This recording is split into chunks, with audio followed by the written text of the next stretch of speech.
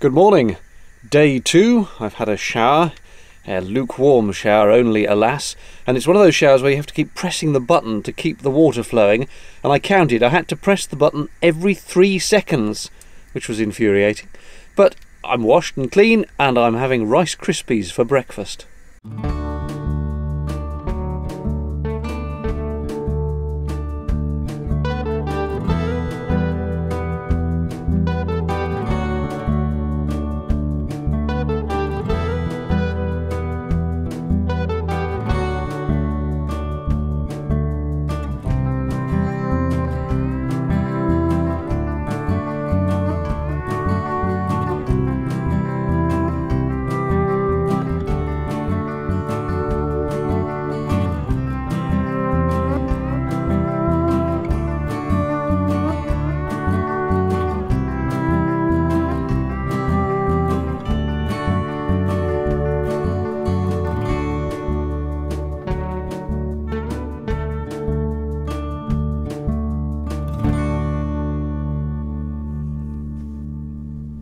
First stop this morning, who can resist a trip up Cockit Hill on the edge of Llangors Mountain? One thing that uh, this has certainly shown me is that I am massively unfit. Barely a, barely a few yards from the van, and I'm about ready to die. But if it wasn't for all the mist, this would be a spectacular view. I have reached what is surely the top. Oh no, hang on a minute, there's a bit more. Here we go to the final peak of this hill. And oh, for crying out loud, there's more! With the clouds and the mist rolling in over the hill, I fear that all that might be found of us is just this camcorder and the recordings in a Blair Witch style horror vlog.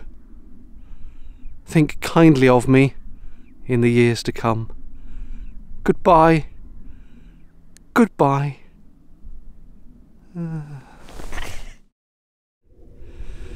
You almost can't see it through the mist and cloud, but that is Llangors Lake, where I was yesterday. Somewhere in there. As the carpenters once said, I'm on the top of the world looking down on creation. And I can't remember the rest of the lyrics. But this is a pretty good view, isn't it?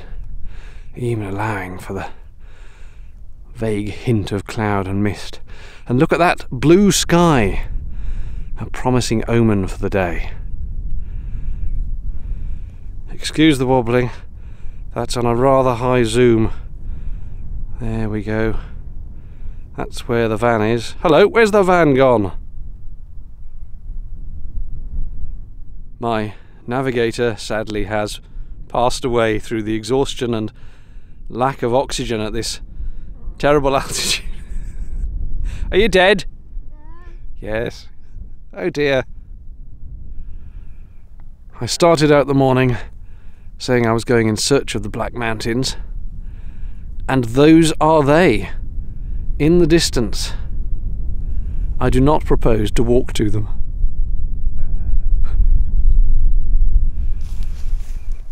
The mist is clearing ever so slightly, and that is a better view of Llangors Lake.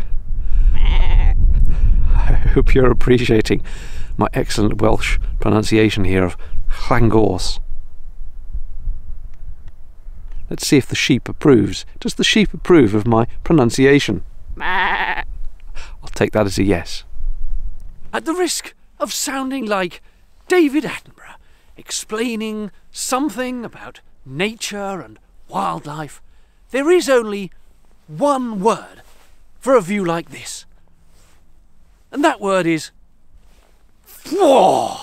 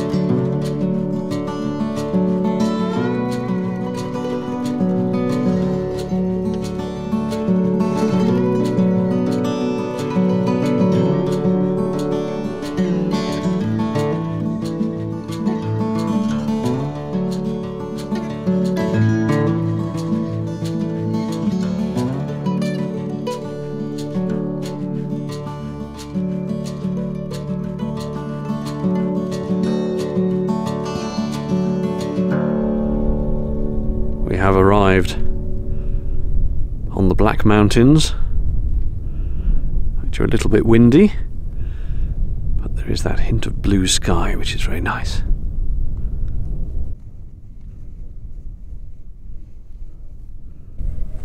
I'm reliably assured that is Hay Bluff. But most splendidly of all, that hill with the light rays wrapping round it is genuinely called Lord Hereford's Knob.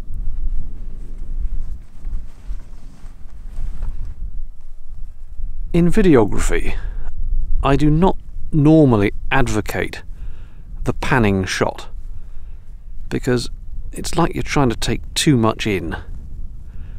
But frankly, there is no other way to show you how utterly splendid this view of the Wye Valley is, other than gently moving the camera across it.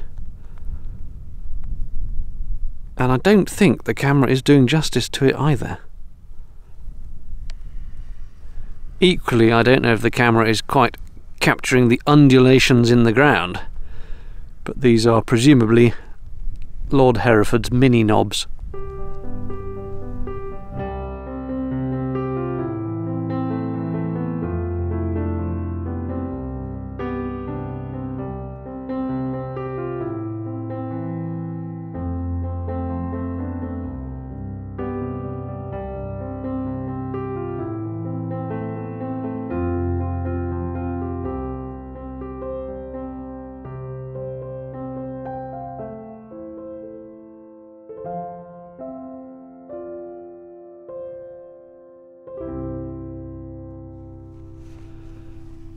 For completeness, and just so I can say it once again, really, that is the arse end of Lord Hereford's knob. And that stunning view from the same point but turning the camera is the Gospel Pass, which we are now driving down. Ain't that something?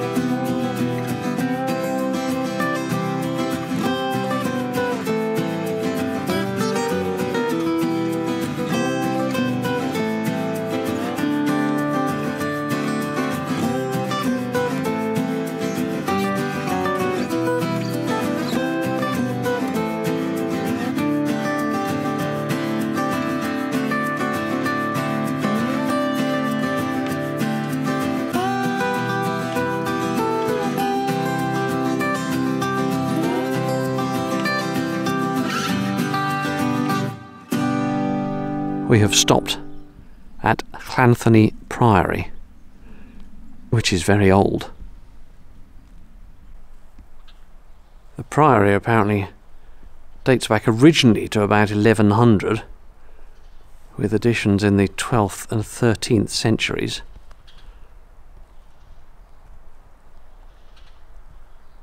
Just extraordinary. So Stunning even in ruins.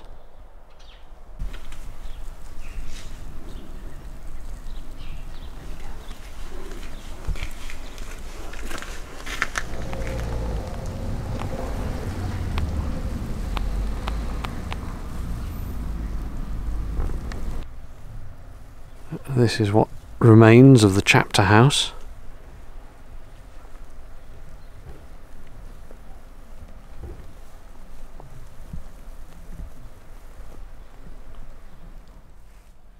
There's just the remains of these stone steps going round in a not a spiral is it? It's a helix pattern around this tower. They fall away there's not a lot of them left but if I just tilt the camera upwards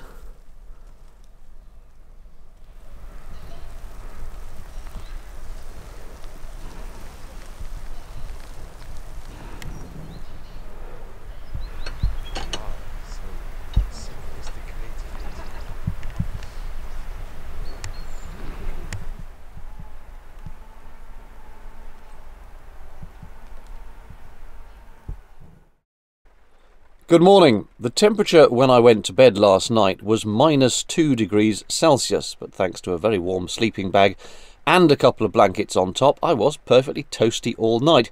This morning, still chilly, so I tried turning on the heater just to take the edge off uh, before I got out of the sleeping bag, and that worked very well indeed. Although now I've turned the heater off, as soon as you turn these air heaters off, it's remarkable how quickly the chill can return. It is chucking it down with rain, but alas, 'tis the day of my return, so I will be driving home in the torrential dampness. I've had a good trip, and I hope you've enjoyed the vlog. There will be more travelling vlogs soonish. Any comments, questions? Leave them down below. Cheerio.